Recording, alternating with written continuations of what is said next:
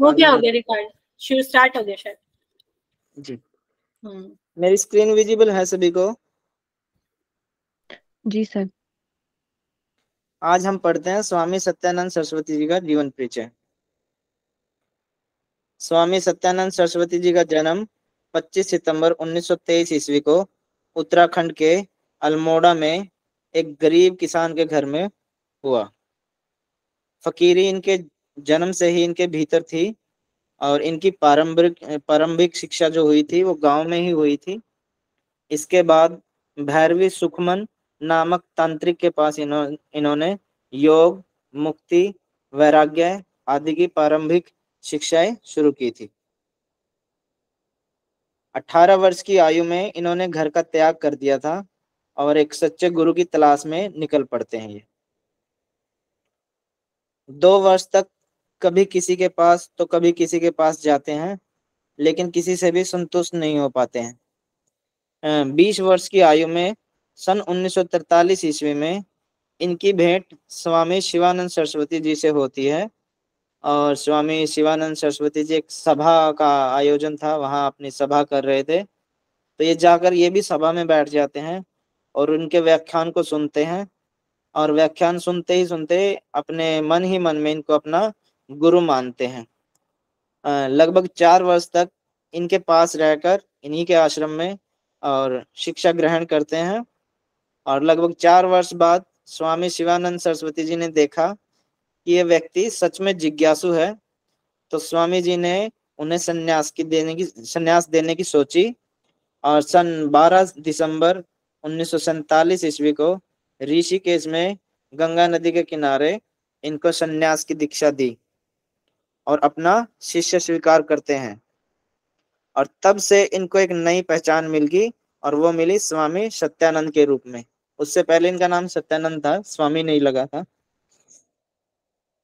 लगातार बारह वर्ष तक योग, दर्शन, अध्यात्म, वेद, उपनिषद की शिक्षा ग्रहण करते हैं और इसके बाद गुरु से आज्ञा लेकर पूरे भारत का भ्रमण करते हैं। और वो प्रिवराजक शब्द आया था ना एक बार पीछे भी? तो वो जीवन जीते हैं ये संन्यास लेने के बाद। और खूब योग का प्रचार प्रसार करते हैं। आ, सन उन्नीस ईस्वी में इन्होंने अंतरराष्ट्रीय योग फिलोसफी आंदोलन की शुरुआत की थी और इसकी शुरुआत बिहार से की थी इन्होंने। सन उन्नीस ईस्वी में बिहार योग मुंगेर की स्थापना की और वहाँ पर योग अध्यात्म पर्यावरण आदि को प्राथमिकता दी। बिहार योग मुंगेर है ना, जो उनकी स्थापना इन्होंने की थी, स्वामी सत्यानंद सरस्वती ने, जहाँ से हर वर्ष लाखों शिक्षक निकलते हैं। इन्होंने सत्यानंद योग एवं एकात्मक योग परंपरा की शुरुआत की थी और जिसका प्रचार प्रसार दूर दूर तक होने लग गया था। सन उन्नीस ईस्वी में इन्होंने विदेश का दौरा किया और खूब घूमे विदेशों में। और खूब योग का प्रचार प्रसार किया। फिर वापस भारत आने के कुछ समय पश्चात इनके प्रमुख शिष्य थे निरंजनानंद जी। उनको अपना बिहार योग मुंगेर सौंप कर और सन उन्नीस ईस्वी में उनको सौंप कर ये अपना एक झोला उठाकर वहाँ से निकल पड़ते हैं। सन उन्नीस सौ नवासी ईस्वी में झारखंड में एक छोटा सा कस्बा रिखिया नामक जगह है। वहाँ पर जाकर ये योग का प्रचार प्रसार करते हैं। और वहाँ आसपास के लोगों को योग, आध्यात्म, कर्म के बारे में लोगों को बताते हैं और इसके बाद एक यज्ञ का आरंभ करते हैं, जो कि 12 वर्ष तक चला था और जिसको राजसो यज्ञ कहा गया है।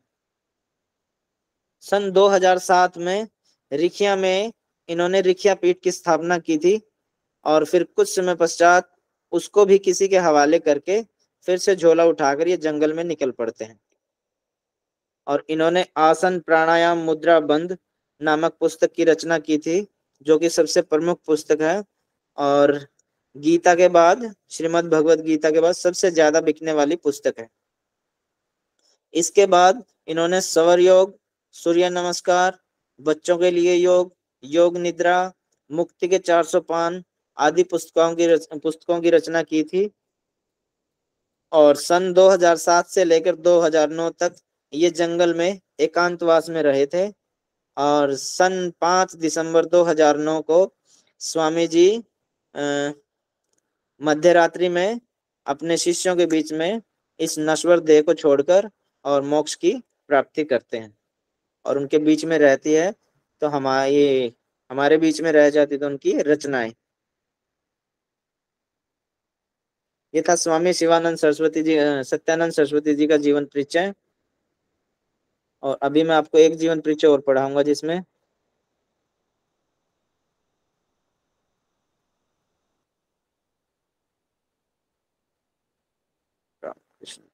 सर ये मुक्ति के चार सौ पान बहुत अच्छी बुक्स है। अच्छी है। बुक तो सारी बहुत अच्छी है जी। नहीं इजी इजी वे में लिख रखा है। चारों सा हाँ। पाद का वर्णन इन्होंने बहुत इजी में जी जी जी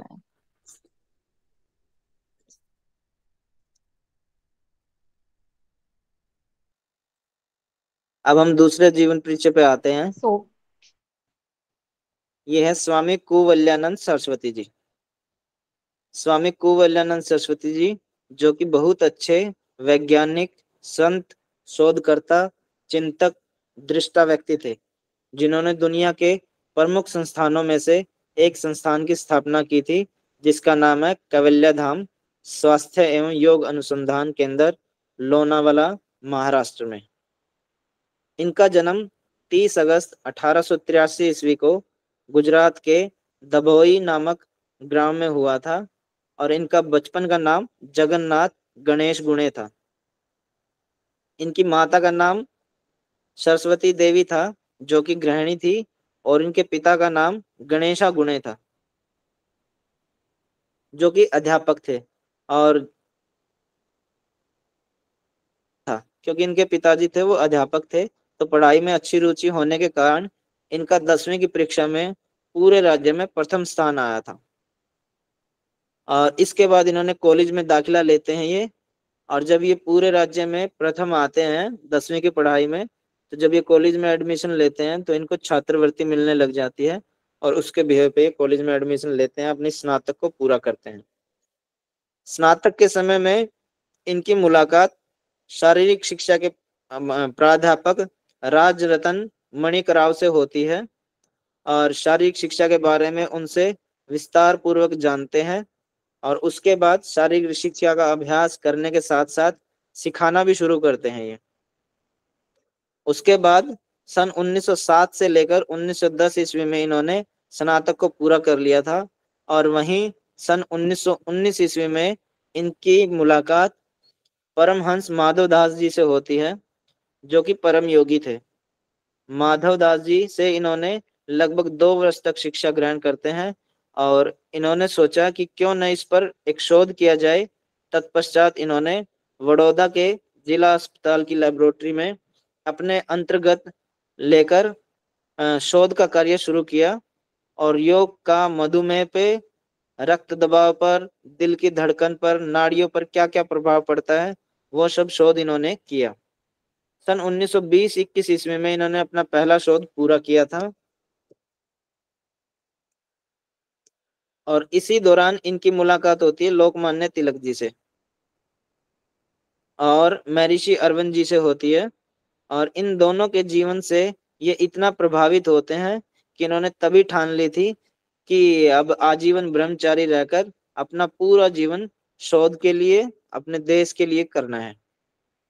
तो सन 1924 ईस्वी में इन्होंने कैवल्य धाम स्वास्थ्य एवं योग अनुसंधान केंद्र लोनावाला महाराष्ट्र की स्थापना की, जो कि दुनिया के जितने भी योग के अनुसंधान है, उनमें से सबसे अग्रणी है।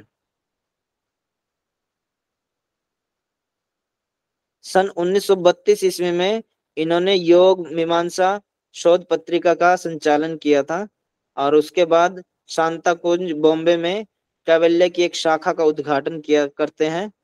और उसके बाद बड़ौदा में, उसके बाद महाराष्ट्र में उद्घाटन करते हैं। और फिर सन 1961 ईस्वी में इन्होंने पहले यौगिक अस्पताल की स्थापना करी थी। और इसके बाद कैवल्य के अंदर ही, कैवल्य धाम के अंदर ही गोवर्धन दास नामक कॉलेज की स्थापना की। और सन 1944 ईस्वी में इन्होंने माधव दास योग समिति बनाई थी, जो केवल शोध के कार्य को ही देखती थी। इन्होंने आसन, प्राणायाम, योगासन, गोरक्षतक, यागवल्यक स्मृति, कुछ प्रमुख पुस्तकों की रचनाएँ की थी। और आज के समय में वहाँ से लाखों पुस्तकें शोध के आधार पर अलग अलग लेखकों के द्वारा रचित की गई हैं।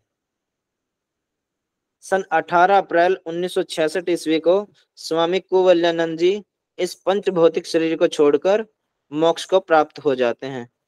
और इनका जो कुल जीवन जीते हैं ये। वो बयासी वर्ष का जीवन जी के और अपने शरीर का त्याग करके पंच तत्व में लीन हो जाते हैं। यहाँ इनकी जीवनी समाप्त होती है। अब इस जीवनी को लेके आप लोगों का कोई क्वेश्चन रह गया हो कुछ समझ में नहीं आया हो तो आप बता सर इनके गुरु का नाम क्या था? किनके गुरु का नाम जी? गुरु माधव दास। माधव दास था ना? माधव दास था। सर ये हमारे पूना से चालीस किलोमीटर पे ही है लोनावला कैवल्य धाम अच्छी बात है जी। जाते हैं आप कभी? हाँ सर हम जा मैं दो बार जाके आई हूँ सर। अच्छा बहुत ही अच्छा।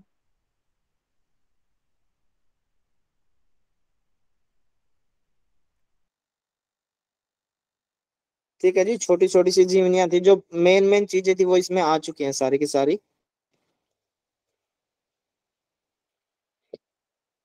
पुष्पा मैम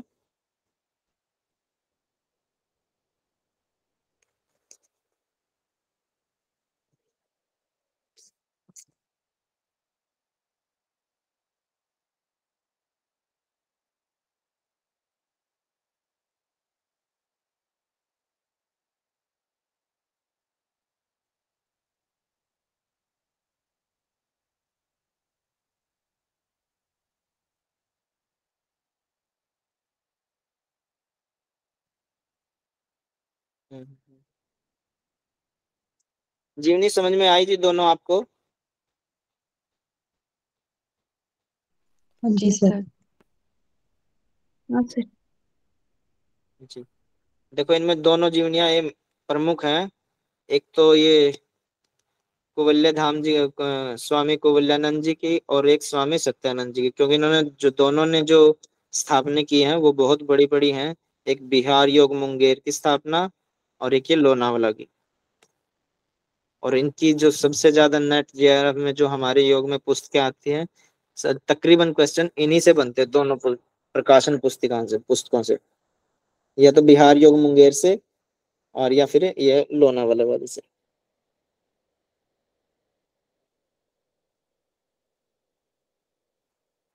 किसी के पास पुष्पा जी का नंबर है?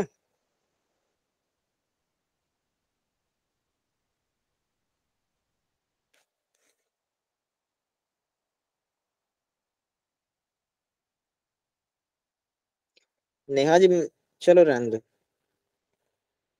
आज और नहीं करते हैं। अ, किसी का को कोई डाउट है जी आज की क्लास को लेके?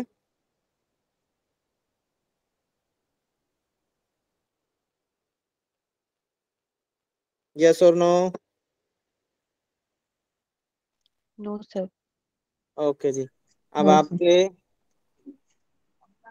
अ, भक्ति काल के तीन योगी रह गए हैं, जो मेन संत हैं, इस धरा के कबीरदास जी, सूरदास जी और गोस्वामी तुलसीदास जी और एक रह गया आपका रामकृष्ण परमहंस जी का। उनकी जीवनी मेरे को ध्यान नहीं थी, मैंने वो थोड़ी सी लिख रखी है और बाकी वो रहेगी लिखनी। मैं उसको आज पूरा करता हूँ जी, कल आपको पढ़ाऊँगा। ये चार जीवनियाँ रहेगी। महर्षि पतंजलि जी की जीवनी पढ़ने की ज़रूरत है आप लोगों को? हाँ सर बता दीजिएगा। ठीक है जी, मैं महर्षि पतंजलि जी के पढ़ा देंगे आप लोगों को। तीन और दो, पाँच जीवनी रहेगी तो कल आपको रामकृष्ण परमहंस जी की पढ़ाएँगे जीवनी। आप अपने से थोड़ा सा पढ़ के आएँगे उनके बारे में। या हम हाँ कल तो वही पढ़ाएँगे। फिर संडे को आप अगर बोलेंगे तो रख लेते हैं क्लास। उसमें हम तीनों जीवनियाँ कवर कर देते हैं। सूरदास जी की, कबीरदास जी की और गोस्वामी तुलसीदास जी की।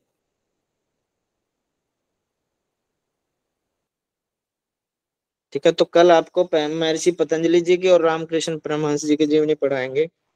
आप थोड़ा बहुत सा उनके बारे में पढ़ के आना। ठीक है जी? चलो जैसी आपकी क्लास जी आज आपकी क्लास लंबी लंबी चली थी। इस क्लास को छोटा करके लेवल करते हैं क्लासों को।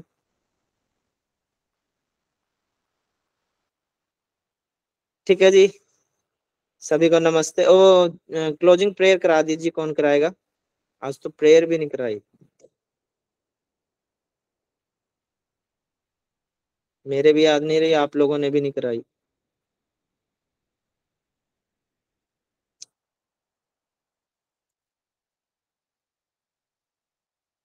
आइए जी कौन आएगा सामने?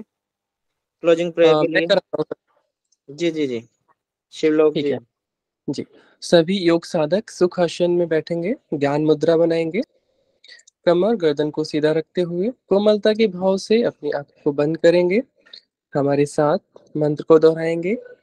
एक से दो बार डीप इनहेल, डीप एक्सहेल।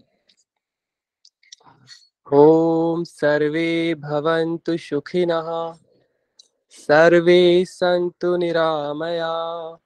सर्वे भद्राणि पश्यन्तु, मा दुःख भा भवेत्। ओम शांति शांति शांति दोनों हथेलियों को आपस में स्पर्श करते हुए अपने मुखमंडल पे स्पर्श करेंगे। कोमलता के भाव से अपनी आँखों को खोलेंगे। धन्यवाद सभी का। धन्यवाद शिवलोक जी आपका। सभी को ओम नमस्ते। कल मिलते हैं महर्षि पतंजलि रामकृष्ण परमहंस जी के साथ।